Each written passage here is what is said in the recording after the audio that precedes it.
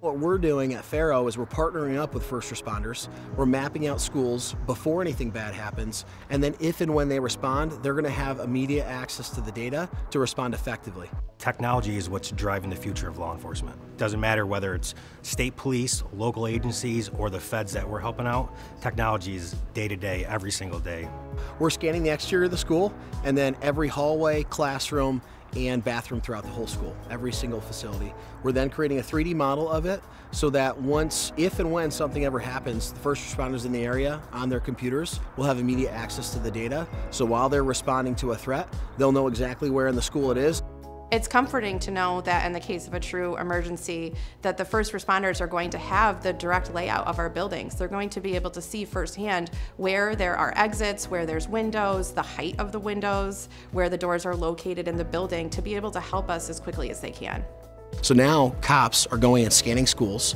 They are taking that data, creating deliverables that they can put in the school officials' hands, any first responder that's in that region. So if and when something happens, they all have immediate access to that data and they can work together to, to form an effective response.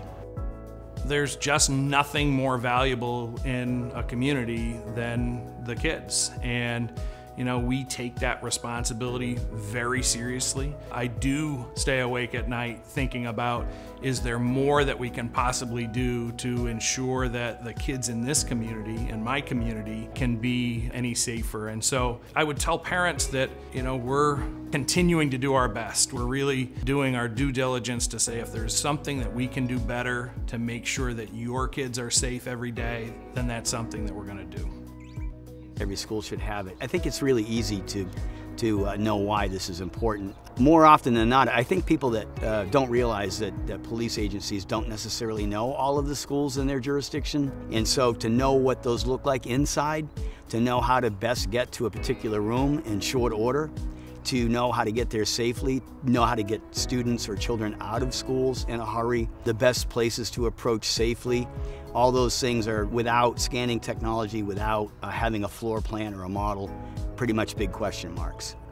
With our new Flash app through Faro, we can go scan an entire school in a couple of hours. It's 30 seconds per scan, so you can move through that school district, map it out quickly, have very accurate data, and then by the end of the day, you could have mapped out an entire school and have deliverables ready to turn over to the EMTs in the area, the police officers, the SRO, local fire, school administrators. We can bring them all together within a day to come up with a plan to better protect our school and prevent bad things from happening. Didn't even know this technology existed a month ago, and all of a sudden it's here. And I mean, you got machines scanning the school, telling you every single inch before you even get there. You got information for first responders, and uh, that's going to, you know, in, improve their response time. And response time is probably the, the key element you need in stopping a critical critical incident like that. So I mean, I, I can't think of something better. We're always looking for where our blind spots are in school safety, and having the scans will allow us, as well as our first responders, to really see any areas that we need to hone in on and tighten up. Knowing that they know ahead of time what the classroom setup is like is an extra sense of security knowing that they're going to know where to go if there's an emergency.